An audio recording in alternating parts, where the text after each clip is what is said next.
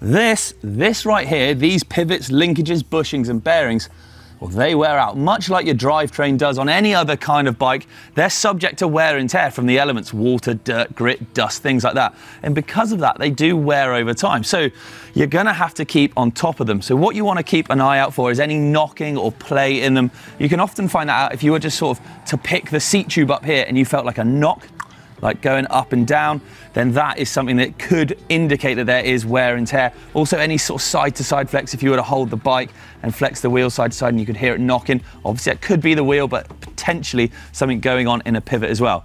Always make sure things are torqued up correctly, greased up where they should be. And if there is any play or movement, replace that as soon as you possibly can because it can result in more damage further down the line to the potential frame as well.